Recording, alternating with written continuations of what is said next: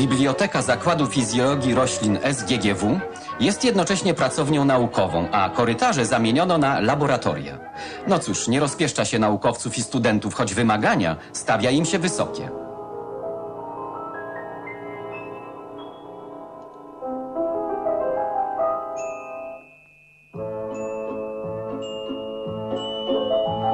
Szklarnie uczelni, wybudowane w 1947 roku, rozlatują się ze starości. Nie warto ich nawet remontować.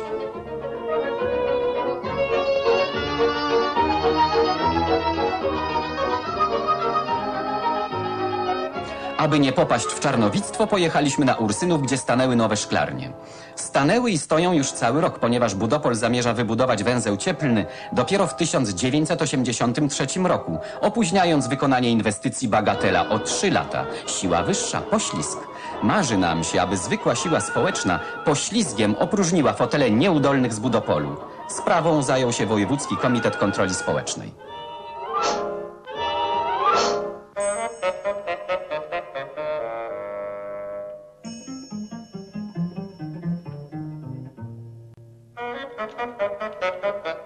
Wczesne przedpołudnie w Czarnej w Bieszczadach. Co tu można robić o tej porze? W restauracji zwierza nam się osiemnastoletnia Iwona. Ma co robić. Wypić wypiję, kurde. No, stara flacha. To już, kurde, pije, czego nie może, kurde, ale pije. Do sali bezalkoholowej tubylców nie wpuszczają, bo brudzą, a zresztą po cóż by tu przychodzili? Nie ma żadnej rozrywki tutaj, no gdzie ci ludzie pójdą? Nigdzie nie pójdą. Nie ma kina, nie ma, nie ma e, jakiegoś po prostu jakiego, jakiegoś basenu, jakiegoś e, lodowiska, no to wszystko weźmie pieniądze i idzie i na piwko, a przy piwko się zaczyna. W No. sali z zakąskami pije się na przemian piwo i czystą, aż do skutku. No po co tam będę chodził, proszę panią? Jak tam nikogo nie ma, nie tam jakieś rozrywki, nie niczego, nie ma nic.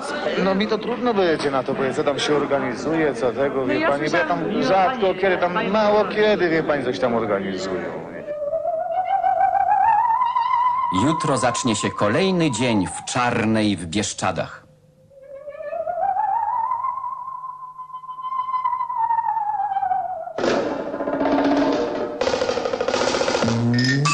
Ochotnicza Rezerwa Milicji Obywatelskiej obchodziła swoje 35-lecie.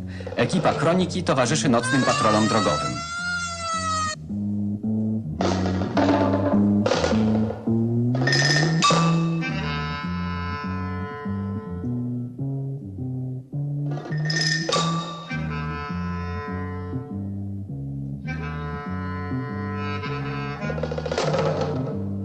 Z archiwów milicji ORMO pochodzą publikowane przez nas zdjęcia.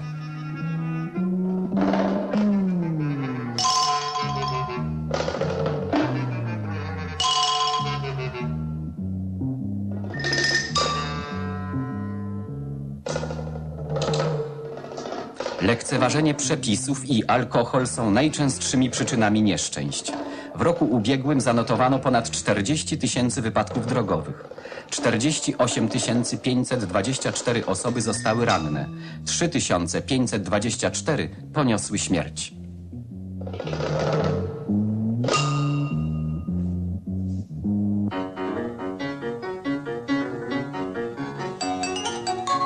W pierwszych powojennych latach długie kolejki w lecznictwie otwartym tłumaczyliśmy małą liczbą lekarzy.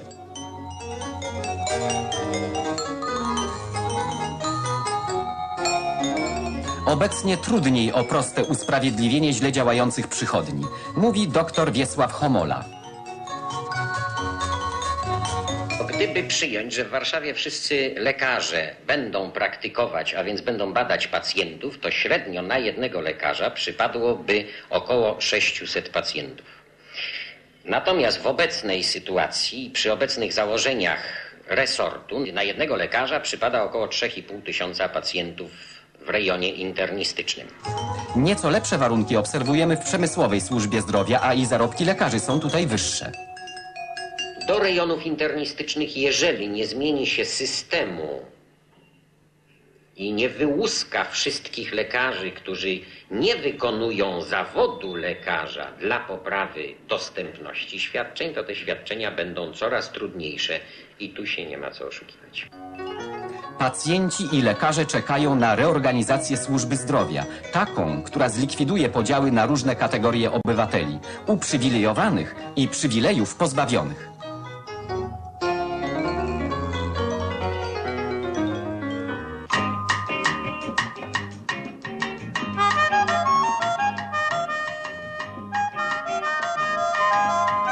Panie Wanda Cedrońska-Rodowicz, Ewa Kulesza i Wanda Skoniecka, absolwentki Akademii Sztuk Pięknych w Warszawie, tworzą oryginalne mozaiki.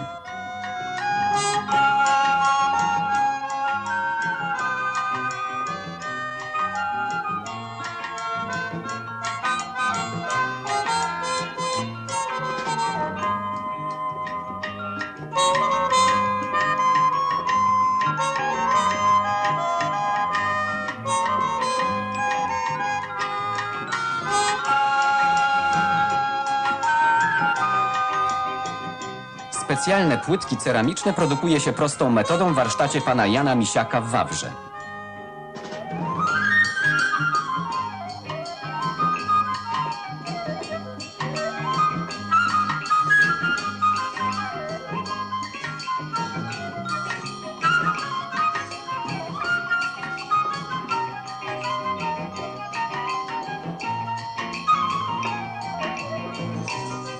Oglądacie Państwo końcową fazę układania mozaiki. Przedtem artystki muszą wykonać setki szkiców, rysunek przenieść na projekt naturalnej wielkości i ułożyć tysiąc płytek na jednym metrze kwadratowym powierzchni.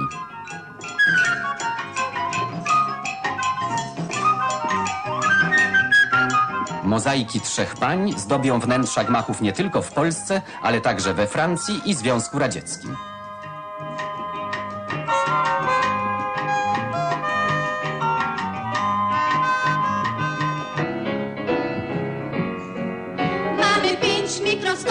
Wysokiej klasy i... Wywiad Ariadny Gierek dla Kuriera Polskiego odbił się głośnym echem w piwnicy pod Baranami. Centrum Zdrowia, Zdrowia Dziecka.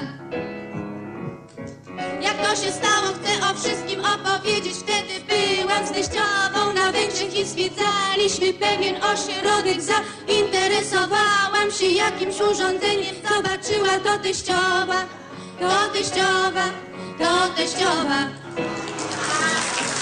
I powiedziała, że wie od ministra wieczorka, że do cyzycy przyszły trzy wysokiej klasy mikroskopy. Być może nie będą tam potrzebne aż trzy. Porozmawiam z ministrem, powiedziała teściowa. Powiem wszystko, powiem, do ukrycia nie mam nic.